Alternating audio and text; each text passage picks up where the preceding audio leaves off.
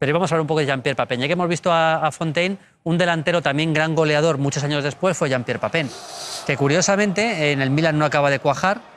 Él tuvo algunos tramos buenos en el Marsella, Sí, seguro. luego estuvo en el Brujas también, pero él llega como el gran goleador francés en la Eurocopa del 92, ¿os acordáis? Le hemos Ese visto era el ya, gran ¿no? momento de su carrera. Su gran disparo y su, cabe- y su capacidad de cabecear, pues eran sus señas de identidad, ¿no? Tenía un, un cañón en la pierna derecha, yo creo.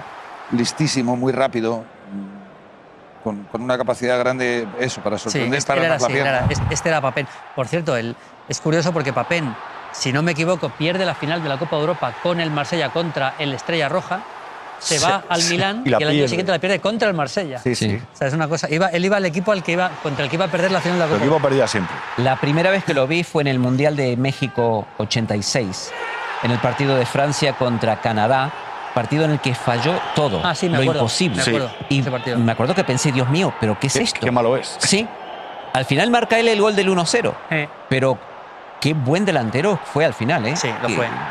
Con, con un disparo de gran precisión. Claro, es que doblaba las manos de porteros. Es que era. era- GPP, GPP. Sí. Le.